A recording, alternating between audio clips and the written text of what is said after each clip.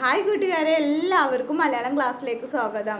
എന്തൊക്കെയുണ്ട് വിശേഷങ്ങളൊക്കെ? എല്ലാവർക്കും സുഖമല്ലേ സുഖമാണ് അല്ലേ? അപ്പോൾ നമ്മുടെ പാഠത്തിന്റെ പേരെന്താണ്? ആ ഈ തെറ്റിന് ശിക്ഷയില്ല എന്നല്ലേ എല്ലാവരും ഒന്ന് ഉറക്കെ പറഞ്ഞ് എന്തായിരുന്നു നമ്മുടെ പാഠത്തിന്റെ പേര്? ആ വെരി ഗുഡ് ഈ തെറ്റിന് ശിക്ഷയില്ല.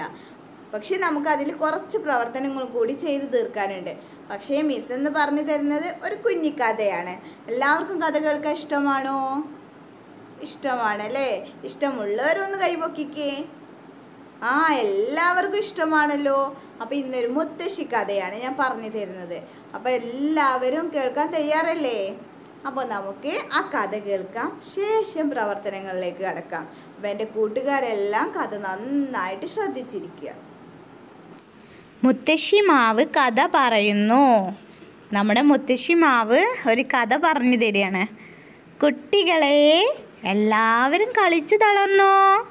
ഇനി ഇത്തിരി നേരം എന്റെ തണലിൽ വന്നിരുന്നോളൂ. ഞാൻ നിങ്ങൾക്ക് എന്റെ കഥ പറഞ്ഞു തരാം. അപ്പോൾ നമ്മുടെ മുത്തശ്ശി മാവ് നിങ്ങൾക്കൊരു കഥ പറഞ്ഞു തരിക. അപ്പോൾ എന്റെ കുട്ടികളെല്ലാം ശ്രദ്ധിച്ചിരിക്കുക കേട്ടോ. ഒരുപാട് കാലം മുമ്പ് അതാ ആ കാണുന്ന വയലിന്റെ അക്കരെ ഒരു മാവുണ്ടായിരുന്നു. പടർന്നു പന്തലിച്ചു നിന്ന ഒരു തേൻ മാവ്. അതായിരുന്നു എന്റെ അമ്മ. അമ്മ മാവിന്റെ ഉച്ചിയിലെ ഒരു ഉണ്ണിമാങ്ങിയായിരുന്നു ഞാൻ. അമ്മ മാവിന്റെ ഉച്ചിയിലെ ഉച്ചിയിലെ പറഞ്ഞാൽ ഏറ്റവും മുകളിലെ. ഏറ്റവും ആ മാവിന്റെ ഏറ്റവും മുകളിൽ ഒരു ഉണ്ണിമാങ്ങ കണ്ണിമാങ്ങ എന്നൊക്കെ പറയില്ലേ? അതുപോലെ ഒരു കുഞ്ഞി മാങ്ങയായിരുന്നു ഈ മുത്തശ്ശി മാവ്. മാസങ്ങൾക്ക് ശേഷം ഞാനൊരു മുഴുത്ത മാമ്പഴമായി. അന്നൊക്കെ എന്നെ കാണേണ്ടതായിരുന്നു. മഞ്ഞയും ഓറഞ്ചും കലർന്ന് തുടുത്ത ഒരു മാമ്പഴം. ഞങ്ങൾ കൂട്ടുകാരെല്ലാം കാറ്റിലാടി രസിച്ചു കഴിഞ്ഞ കാലം. ഞങ്ങളെല്ലാം ഒരു കുലയിൽ മുട്ടിയിരുന്ന് തമാശകൾ പറഞ്ഞ് രസിക്കുകയായിരുന്നു. അപ്പോഴാ അത് സംഭവിച്ചത്. ഒരു കാക്ക വന്ന് എന്നെ ഒരു കൊത്ത്. തും ഞാൻ ഞെട്ടറ്റു താഴെ മാഞ്ചുവട്ടിൽ കളിക്കുന്ന കുട്ടികൾക്ക് മുൻപിലാണ് ചെന്ന് വീണത്. അതിലൊരുത്തൻ ഓടി വന്ന് എന്നെ എടുത്തു. എന്റെ തേന്മധുരമൂറുന്ന ഭാഗങ്ങൾ കഷ്ണങ്ങളാക്കി അവൻ കൂട്ടുകാർക്ക് പങ്കുവച്ചു. മാങ്ങയണ്ടി മാത്രം ബാക്കിയായി. അവനത് ഒരു കടലാസിൽ പൊതിഞ്ഞു കയ്യിൽ വെച്ചു. ഇത് ഞാൻ വീട്ടുപറമ്പിൽ കുഴിച്ചിടും ആ മിടുക്കൻ പറഞ്ഞു. അവൻ പറഞ്ഞതുപോലെ ചെയ്തു കേട്ടോ. മഴക്കാലമായി. മഴവെള്ളത്തിൽ നനഞ്ഞു കുതിർന്ന ഞാൻ മെല്ലെ മുളച്ചു പൊന്തി. ചുവപ്പ് കലർന്ന തവിട്ട് നിറമുള്ള ഇലകൾ എന്നും അവൻ വന്നു തൊട്ടു നോക്കൂ. കാലം കുറേ കഴിഞ്ഞു. ഞാൻ വലുതായി. ഞങ്ങൾ വൻ മരങ്ങൾ അങ്ങനെയാണ്. ഒരുപാട് ഒരുപാട് വളരും. കൊമ്പുകളും ചില്ലകളും വളർന്നപ്പോൾ പല പക്ഷികളും കൂടുകൂട്ടാനെത്തി. പക്ഷികൾ മാത്രമല്ല പാർക്കാനെത്തിയത്. അണ്ണാനും ചിതലിനും ചിലന്തിക്കും ഉറുമ്പിനുമൊക്കെ താമസിക്കാൻ ഞാൻ ഇടം നൽകി. കുട്ടികൾ എന്റെ തണലിലിരുന്ന് കളിച്ചു വിശ്രമിച്ചു. അവർക്കൊക്കെ ഞാൻ വയറു നിറയെ ചക്കര മാമ്പഴം കൊടുത്തു. ഇപ്പോൾ ഞാനൊരു മുത്തശ്ശിയായി. എന്റെ മക്കളും പേരക്കിടാങ്ങളുമൊക്കെ എവിടെയാണാവോ? എന്നാലും ഇനിയും കുറേ കാലം ഞാൻ ഉണ്ടാവും തണലും മധുരവും തന്ന്. എന്റെ കൂട്ടുകാർക്കെല്ലാം കഥ ഇഷ്ടമായില്ലേ? അപ്പോൾ നമ്മുടെ മുത്തശ്ശിമാവ് ഉണ്ടായത് ഒരു കുഞ്ഞിക്കുട്ടി അവന് മാങ്ങയണ്ടി കൊണ്ടുപോയി അവന്റെ വീട്ടിന്റെ പറമ്പിൽ കുഴിച്ചിട്ടിട്ടാണ് നമ്മുടെ മുത്തശ്ശിമാവ് ഉണ്ടായത് എന്റെ കൂട്ടുകാരാരെങ്കിലും ഇങ്ങനെയൊക്കെ ചെയ്തിട്ടുണ്ടോ? ഇല്ല അപ്പം നമുക്ക് ഒരു തൈ നട്ട് നോക്കാം.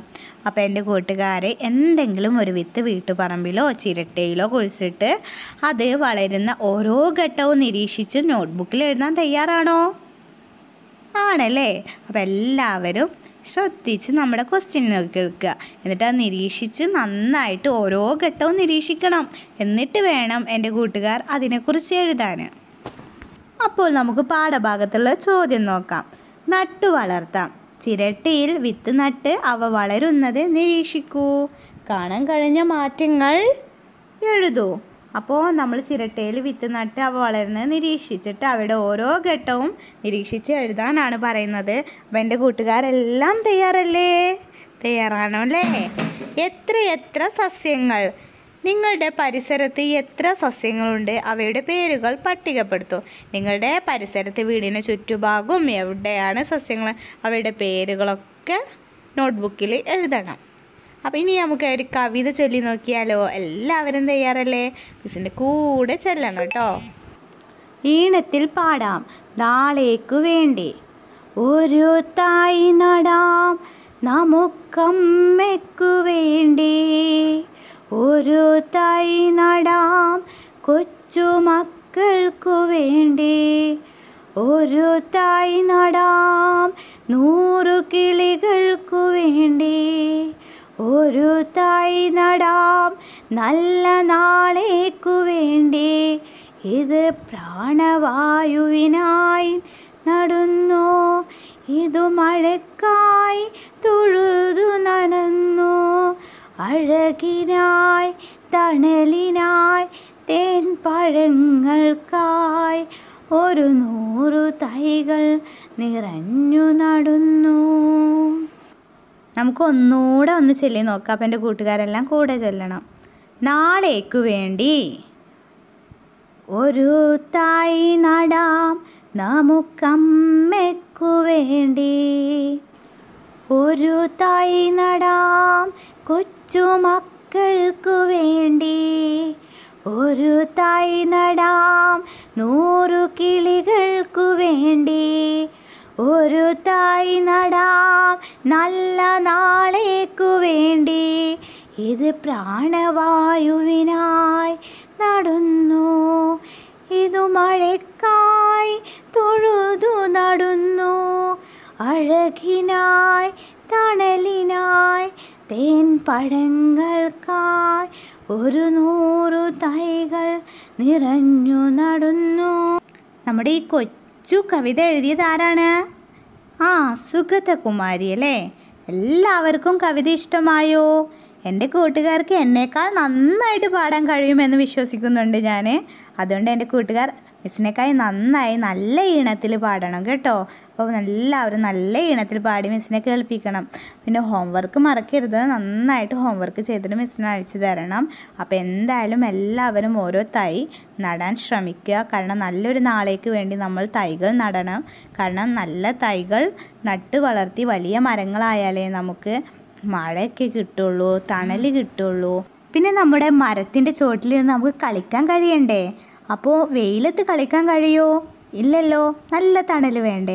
അപ്പോൾ നാളെ നമുക്ക് വരുന്ന മക്കൾക്കൊക്കെ കളിക്കണമെങ്കിൽ നമ്മൾ ഇപ്പോൾ തന്നെ ചെറു ചെറിയ മരങ്ങളൊക്കെ നട്ടു വളർത്തണം. അത് നല്ലൊരു ശീലമാണ്. അപ്പോൾ എന്റെ കൂട്ടുകാരെല്ലാം ഓരോ തൈകൾ നടുക. മാത്രമല്ല നമ്മുടെ ചോദ്യത്തിനുള്ള ഉത്തരം അതായത് ചിരട്ടയിൽ മണ്ണ് നിറച്ച് നിങ്ങൾക്ക് ഇഷ്ടപ്പെട്ട ഓരോ വിത്ത് കുഴിച്ചിട്ട് അത് ഉണ്ടാവുന്ന എല്ലാ ഘട്ടങ്ങളും നിരീക്ഷിച്ച് എഴുതുകയും ചെയ്യണം. അപ്പോൾ നമുക്ക് അടുത്ത ക്ലാസ്സിൽ കാണാം.